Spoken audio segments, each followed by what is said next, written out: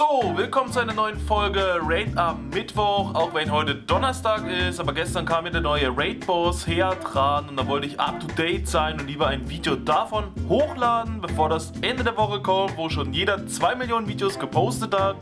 Hat zwar gestern auch schon, aber ich dachte, es ist nicht so schlimm, da verschieben wir das einfach um einen Tag, das wird schon gehen. Nächste Woche sicherlich wieder pünktlich am Mittwoch, Raider Mittwoch unsere Highlights aus unserer Community und am Ende natürlich wieder der Schocker der Woche. Was waren die Fänge? 100er, Shinies, Legendäre, alles dabei. Wir wollen jetzt mal reinschauen. Es geht los. Angefangen hat die Woche, da habe ich wieder ein bisschen getauscht mit typisch Andy und der hat mir ein äh, Shiny Garados geschickt und das war natürlich sehr alt. Da hat er gesagt, tauscht dir das mal, das wird sicherlich ein äh, Lucky und dafür wollte er ein Mewtwo haben. Hammer gemacht, ist auch Lucky geworden, wie man sieht. Die IV waren jetzt nicht die besten, aber er hat seinen Traum endlich erfüllt, hat ein äh, Lucky Mewtwo bekommen. Obwohl hatte der nicht sogar schon zwei oder war das nur auf dem zweiten Account? Auf jeden Fall ging das gut auf.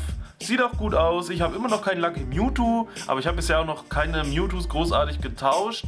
Für mich, weil ich ja immer Mewtwo's weggebe gegen Shinies, gegen sonst was und letzte Zeit so viel zu tun war, dass ich gar keine Zeit hatte, Legendäre zu tauschen. Und langsam wird der Beutel wieder voll. Da muss man mal ranklotzen. Wollte ich auch bei Cresselia immer hin und her.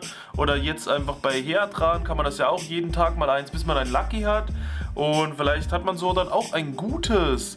Aber lange Rede, kurzer Sinn. Wir machen fix weiter natürlich. Der Defteres hat nämlich noch einen Shiny Plusle gefunden. Finde ich cool, wenn man während des Events die Sachen findet. Und noch krasser natürlich, wenn man sie außerhalb der Events findet. Das wurde damals nämlich eingeführt, als diese Sommerfest war.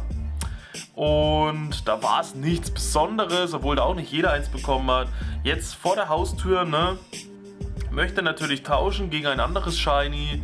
Leider hat er nichts, was ich nicht habe, sonst hätte ich da gerne was äh, genommen. Achso, er will das ja abgeben, oh mein Gott. Ich habe auch noch Plüssel abzugeben und Minun habe ich auch noch ein paar. Und dann ging es wieder weiter. Wir haben schon wieder einen neuen Stop bekommen bei uns, beziehungsweise in Walraps ein neuer Stop. Erst gab es eine neue Arena, jetzt einen neuen Stop. Der Brian hat gepostet, er hat den 100% äh, Quieke gefunden, was sehr interessant ist natürlich für die Leute, die noch kein Gutes haben, denn bald kann man ja auch Mammutel entwickeln aus Keifel heraus und das wird richtig krass und richtig hoch, deswegen gebt euch das. Habe ich leider nicht bekommen, da war ich nicht in der Nähe. Habe aber glaube ich schon 300er oder 200er von Quiegel auf jeden Fall da und vorbereitet, wenn dann Mammutel endlich freigeschalten wird. Dann hat Linsira einen Kapilz gepostet, auch sehr cool, auch sehr selten, dass man das mal wild sieht. Auch ein cooles Pokémon, habe ich damals aus einem Raid einen 100er bekommen, aber nur auf einem zweiten Account, glaube ich.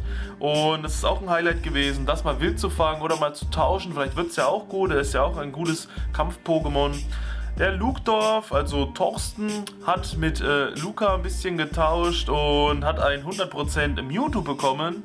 Einfach nur durchs Tauschen. Wie gesagt, es ist nicht mal Lucky geworden, aber ein 100%iges. So kann man es natürlich auch machen. Brian hat gepostet, gegen Ramon zweimal verloren und als Belohnung zwei Sino-Steine bekommen. So muss man es machen. Ich muss sagen, ich habe in letzter Zeit wirklich viele Kämpfe gewonnen, was mich selber überrascht. Ich habe sonst immer komplett abgelost. In letzter Zeit habe ich eine gute Siegesserie, aber ich bekomme immer nur Staub. 300, 500 mal 600, aber die Sino-Steine sind plötzlich so selten, auch beim PvP. Wenn ich sehe andere, die kriegen am Tag drei oder vier Sino-Steine, drei aus den Kämpfen und einen aus dem äh, Trainieren. Und sogar fürs Verlieren, wie man hier sieht, kriegt man welche hinterhergeworfen, aber vielleicht soll ich aufhören zu gewinnen und wieder absichtlich verlieren. Dann kriege ich vielleicht auch mal was Gutes. Dann die Disney Chani, da steht immer noch im Ziggy-Zacki, im Zickzack-Kind, steht nach oben. Die Disney Chani hat ja jetzt einen neuen Namen, Chani, Disney Chani, Chani, bla bla, hat ein Shiny Pichu gebrütet, wie man sieht. Da bin ich sehr stolz drauf. Da fehlt mir, glaube ich, nämlich auch noch eins. Und der Brian hat ein Bild gefunden von einem Afro-Pikachu, was er auch in die Gruppe reingepostet hat. Da seht ihr ein Pikachu mit einer Smorgon-Perücke, Smorgon-Mütze, wie auch immer. Dann habe ich wieder mal eine Gen 4 Entwicklung durchgeführt. Diesmal habe ich mir einen Toggle Kiss gemacht auf Level 40 mit 100%, 3332. Wäre das 33, wäre das noch genialer. Da seht ihr einen Onyx als äh, Croissant Richtig cool, neues Onyx entdeckt. Sieht auch sehr zum Verwechseln ähnlich.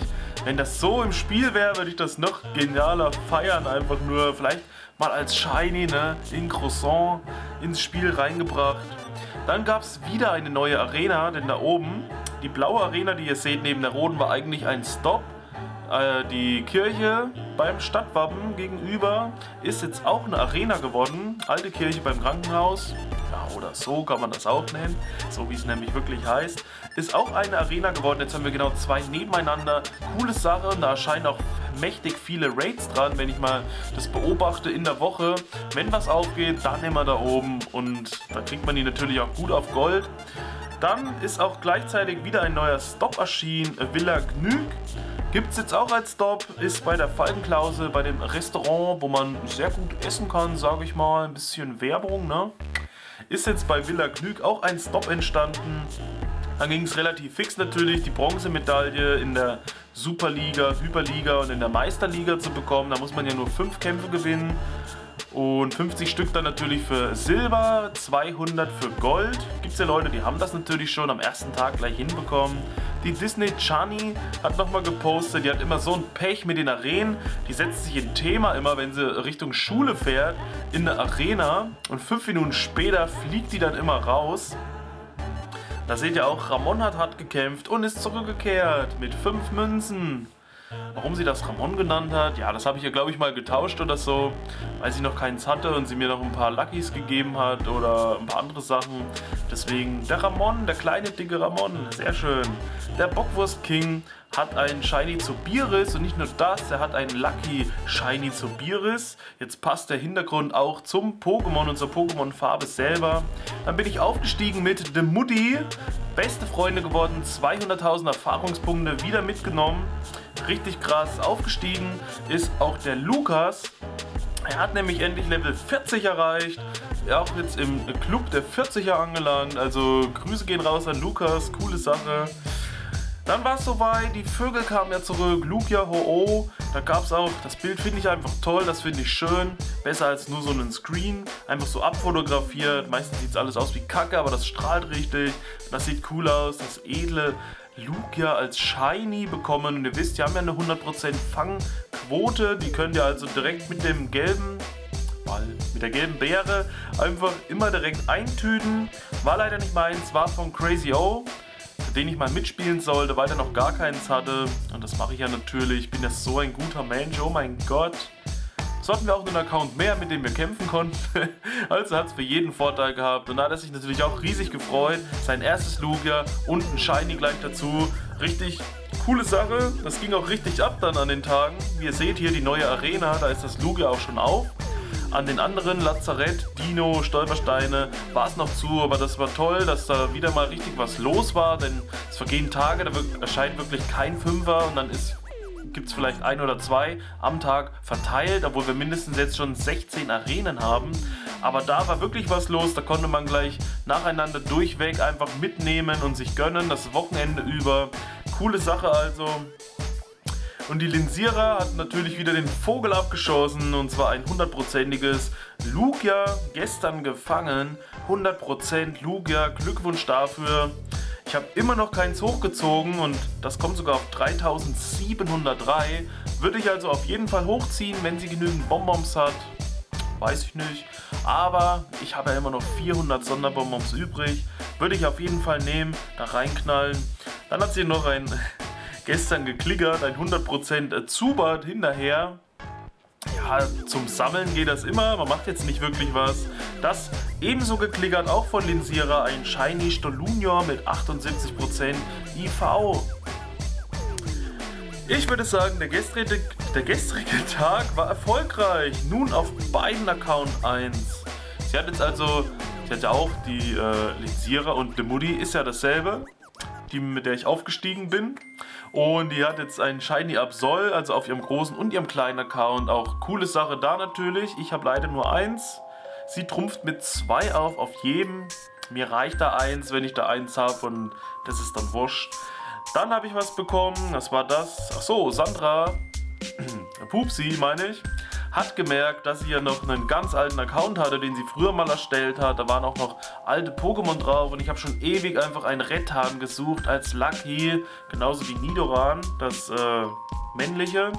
Da hat sie mir einfach zwei Stück geschickt, die habe ich dann auch gleich entwickelt. Jetzt endlich also auch Rettan und Arbok in der Lucky-Sammlung, genauso wie Nidoran, Nido Rino, Nido King, weil die von 2016 waren und sie hat natürlich dann nichts drauf gehabt. Sie hat dafür ein paar coole Sachen bekommen, leider kein Mewtwo, denn das hatte sie noch nicht, das hätte sonst eine Million gekostet. Dann habe ich ein Gekabor gebrütet mit 98%. Da warte ich jetzt natürlich wieder auf den Community Day. Wird ja sicherlich einer kommen mit den Startern sowieso. Das neue Update ist so groß, das ist schon größer als ich selber dachte. Schon bei 120%. Ja, das seht ihr, eigentlich 54 MB groß und jetzt hat es schon 67 von 54 runtergeladen und ist bei 124% Das muss man sich mal vorstellen. Kein Wunder, dass die Leute gar keinen Platz für Updates oder sonst was haben. Der Tobi Alpha, Glückwunsch auch hier, hat auch ein Shiny HO gefangen. Scheint auch sein erstes HO überhaupt zu sein, denn er hat gerade mal drei Bonbons. Richtig coole Sache. Wow, für mich der Jackpot und wieder Linsierer mit einem äh, 98%igen Shiny Lugia neben dem 100%igen, also auch ein 98er Shiny. Sehr coole Sache, Glückwunsch an der Stelle. Der Alex hat uns gepostet, also Sick oder auch Alex genannt. Hat ein 100% Landhorn bekommen, wahrscheinlich aus der Feldforschung. Habe ich auch noch nicht, kein 100er davon. Junge, die Frau fliegt fast weg da unten. Das ist so ein bisschen windig. Schirm eingepackt, genau. Habe ich leider auch noch keins. Aber na gut, mit dem Ding macht man ja eh nichts. Für die Sammlung wäre es trotzdem cool. Ein Riesendank geht raus an Ramses, den alten Raidgott. Der Philippone war nämlich am Wochenende leider verhindert. Und so habe ich seinen Account ein bisschen mitgenommen, da für ihn ein paar Raids gemacht. Und da hat er auch ein äh, 96%iges Shiny Lugia bekommen. Am allerletzten Raid, am Montagabend, am Lazarett, kurz vor na, wann war das? Ja, kurz vor 21 Uhr, wie man sieht, steht ja oben hatte noch ein Shiny Lugia bekommen. Das hat ihm auch gefehlt. Er hat zwar schon Lugia gehabt, aber kein Shiny. Hatte also dank mir natürlich und weil es so schön ist, Nummer 2, Ramses, du alter Vogelfänger. Das habe ich ihm am Vortag, glaube ich, geholt. Oder am selben Tag, mittags irgendwann. Auf jeden Fall auch ein Shiny Ho-Oh. Jetzt hat er also auch beide in seiner Sammlung. Richtig coole Sache, natürlich. Ich leider gar keins bekommen, weder auf einem kleinen Account noch auf einem großen Account, obwohl ich die drei Tage also Samstag, Sonntag, Montag durchgerotzt habe. Nichts bekommen, aber ich hatte ja schon welche. Dafür habe ich äh, mein äh, bestes äh, Greselia bekommen. 96% mit 15, 15, 13, was ich nicht hochgezogen habe. Ihr seht, das kommt ja nur auf 2800. Das wäre es mir nicht wert. Aber im Endeffekt habe ich wenigstens eine 100% Fangquote aufrechterhalten, konstant durchgezogen. 34 von 34 gute Sache, aber da sieht man, habe ich nicht so viele gemacht. Bei anderen habe ich ja das 70, 80, 100 äh, legendäre Raids, aber dann nur 34, weil das Ding fand ich jetzt echt nicht so nützlich. Trotzdem alle bekommen, die ich gemacht habe. Sehr schön. Horst of Death, also der Horsti zeigt uns noch, noch was für den Schocker der Woche.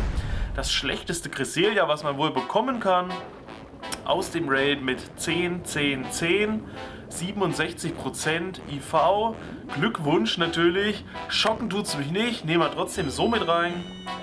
Dann der Horsti auch noch die Shiny-Familie komplett, denn er hat jetzt ein männliches und ein weibliches Shiny Absol. Der Tobi hat gepostet, Pokémon Go ist auch in Bayern angekommen. Pokémon Go, da könnt ihr ein Maßbier fangen mit WP 620. 169 Bälle. Hm. Das ist natürlich eine lustige Idee. Also, wenn es da so eine Verarsche gibt, einfach mal angepasst, wo dann auch Bratwürste rumfliegen oder Weißwürste, irgendwas. Das würde ich auch zocken. Dann hat das Weihnachtsevent natürlich begonnen. Die Vögel waren weg. Das Weihnachtsevent hat begonnen. Und wie kann es anders sein? Den Sierer um halb zwölf, also eineinhalb Stunden nach Eventbeginn, ein äh, Shiny Botogel. Das, äh, darauf sind ja viele Leute aus. Viele waren genervt, dass das, als, äh, dass das schon wieder zurückkommt. Aber das ist doch cool. Das kommt nämlich nur zur Weihnachtszeit. Und beim zweiten Besuch jetzt ist es auch als Shiny da. Sie hat schon eins. Ich hoffe, ich kriege auch noch eins. Das, da braucht man wenigstens nur eins. Dann ist das Ding abgehakt. Aber sieht cool aus mit diesem äh, seichten äh, lila äh, Mantel, Anzug, wie auch immer. Und vor allem der Sack ist weiß. War der nicht braun?